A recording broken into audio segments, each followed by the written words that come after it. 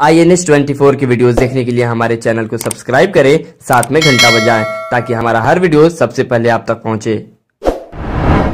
नमस्कार, मैं Gupteshwar Pandey, DGP Bihar.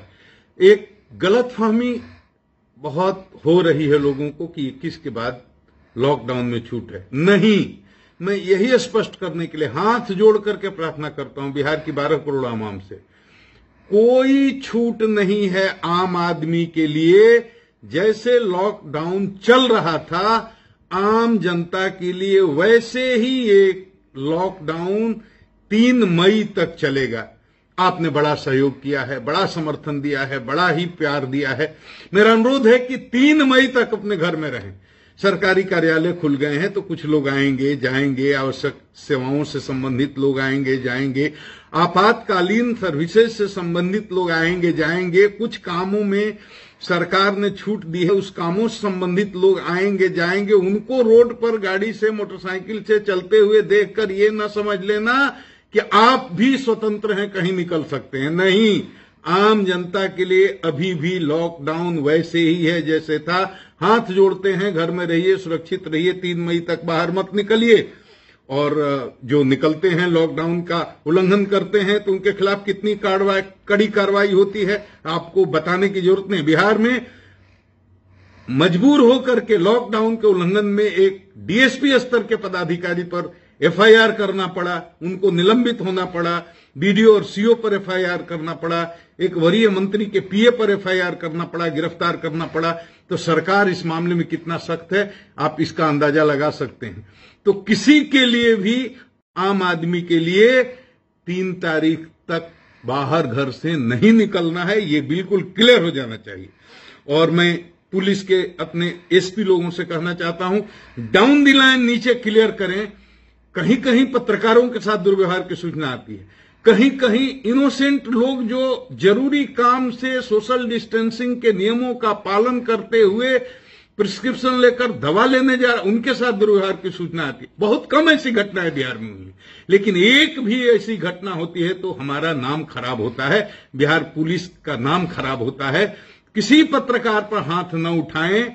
Identity पत्रकार बंधुओं से भी अनुरोध करूँगा कि हमारे पुलिस के लोग बहुत ही तनाव में जी रहे हैं, अनावश्यक उनसे न उलझें और जब भी निकलें, ग्रुप में न निकलें, अकेले अपना आई कार्ड लेकर करके ही निकलें और विनम्रता से, शालीनता से वो पेश आए, जब भी उनको पूछा जाए, वो दिखाएँ। तो उनके साथ ऐसा कुछ नहीं होना चाहिए। आम आदमी भी कोई परेशान न हो, निर्दोष पर किसी पर लाठी नहीं चलाना है, पुलिस स्टेट नहीं है, वेलफेयर स्टेट है, जो मनचले हैं, बदमाश हैं, जिद्दी हैं, अड़ियल हैं, गुंडे हैं, मवाली हैं ऐसे लोगों के साथ जितनी आप सख्ती कर सकते हैं, आपको सख्ती करने की छूट है। लेकिन इस बात का बहुत अच्छे से विचार करके कि किसके साथ कितना क्या कार्रवाई करनी हो करें, ताकि कोई जनता में पुलिस के खिलाफ गलत मैसेज नहीं जाए। और जनता से भी मैं अनुरोध करूँगा कि कोरोना वॉरियर्स जो, चाहे स्वास्थ्य सेवा से जुड़े हुए लोग हों, चाहे डॉक्टर हों या पुलिस हों, बहुत तनाव में वो काम कर रहे हैं। और आपकी सेवा में जुटे हैं, उनके साथ कहीं दुर्व्यवहार दुर्व्यवहार न करें। अगर उनसे छोटी मोटी गलती भी हो जाती है तो उसको इग्नोर करें। बड़ी गलती तो हम भी नहीं छोड़ते। लेकिन उनको सम्मान दें, वो अपनी जान हथेली पर लेकर के आप लिए लड़ रहे हैं। तो इस तरह की कोई बात नहीं होनी चाहिए कि किसी पुलिसकर्मी पर, किसी डॉक्टर पर कोई पत्थर फेंक दे, कोई हमला कर दे, क्योंकि ऐसा जो भी करेगा, मैं पहले भी कह चुका हूँ, उसके साथ बहुत ही सख्ती से कानूनी कार्रवाई की जाएगी। उनको इसका परिणाम भुगतना पड़ेगा, इस बात को मैं फिर दोहरा के कह रहा हूँ। और अपने पुलिस अधिकारियों से कह रहा हूँ, सुनो सिपाही भाई, हवलदार भाई, थानेदार भाई डीएसपी इंस्पेक्टर और एसपी साहब लोग लोग कुछ ऐसे हैं जो सांप्रदायिक पोस्ट करके और किसी तरह से दो समुदायों में नफरत फैलाने की कोशिश कर रहे हैं। सैकड़ों लोगों की ऐसी गिरफ्तारी हुई है जो पोस्ट करता है उसको। तुरंत दबोच लीजिए, मुकदमा कीजिए। गुंडा रजिस्टर में उसका नाम चढ़ाइए। केस में चार्जशीट करिए। स्पीडी ट्रायल कराइए। ताकि वो जीवन में ऐसी गलती करने की हिम्मत न करे। एक बार ये हो गया, सरकारी नौकरी नहीं मिलेगी, चरित्र सत्यापन प्रमाण पत्र नहीं मिलेगा। जीवन में बहुत ही संकट का सामना करना पड़ेगा। इसलिए मैं नौजवानों से अनुरोध करता हूँ, चाहे किसी समुदाय के हों, किसी तरह के बहकावे में आकर कोई भड़काऊ पोस्ट न करें, कोई अफवाह न फैलाएँ। सोशल मीडिया पर भी ध्यान रखिए। पत्रकार हमारे स्तंभ हैं, उनका सम्मान करना हमारा धर्म है। लेकिन पत्रकारिता के नाम पर कुछ ऐसे लोग भी आ गए हैं जो पोर्टल खोल खोल करके और गलत न्यूज़ अफवाहें फैलाते हैं। कम हैं, लेकिन ऐसे लोग हैं। तो ऐसे लोगों के खिलाफ भी कार्रवाई होगी। ये बात उनको ध्यान में रखना चाहिए। उनकी जिम्मेवारी है। वो अगर मीडिया के चौथे स्तंभ हैं तो उनकी जिम्मेवारी है। कोई भी जिम्मेदार पत्रकार इस तरह की कोई गलत अफवाह नहीं फैला सकता अपने चैनल के माध्यम से। लेकिन कुछ लोग हैं तो ऐसे जो कुछ लोग हैं, उनको चिन्हित करें और विचार करके उन पर कार्रवाई करें।